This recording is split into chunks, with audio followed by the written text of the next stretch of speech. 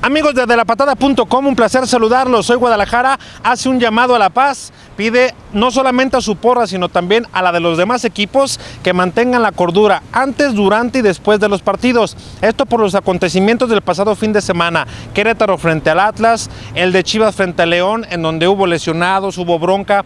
60 camiones, dice Jesús Martínez Jr., que fue más o menos el saldo que tuvieron de autobuses que fueron dañados, apedreados. Y bueno, a final de cuentas, Chivas quiere poner también su granito de arena. Charlie, ¿cómo estás? Alejandro, muchas gracias. Saludo a la gente de La Patada. Sí, como bien lo comentas, los jugadores de Chivas hacen lo propio desde la, desde la trinchera, llamar a la afición a que se comporte. Esto es simplemente un partido de fútbol. Lamentable los hechos que ocurren dentro, pero también fuera de la cancha, dentro en el estadio de Nezahualcóyotl y acá en el estadio OmniLife después del partido, camiones apedreados, hechos bastante lamentables que nada tienen que ver con la cancha, con el fútbol en sí. Y haciendo fuerza, lo que ya por ejemplo la gente de la América dice, que a mis porras no entran el sábado en el partido frente al conjunto de Cruz Azul y también ellos porque tienen un partido bravo el fin de semana. Chivas visita al equipo de Pumas con el cual hay una gran rivalidad por los desplegados en su momento que lanzó Jorge Vergara por aquella final que le ganó Pumas a Chivas y hoy por supuesto piden paz el próximo domingo. Esto dice Rafael Márquez Lugo y también Patricio, el Pato Araujo.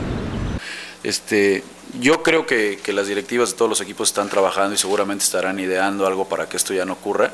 Entonces, este, lo único que queda de nuestra parte es, como te digo, como jugador, invitarlos a que eso ya no, ya no se, ya no se dé, que nos ayuden, como te digo, a hacer un, hacer un deporte, que la gente pueda gozarlo, que no tenga miedo de ir al estadio y llevar a sus hijos.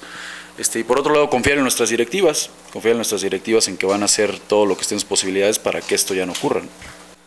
Sí, no hay. He escuchado varias veces la frase, ¿no? De que violencia genera más violencia. Escuchaba que si sanciones o ese tipo de cosas, pero yo siento que hay que hay que unificar, ¿no? Ideas.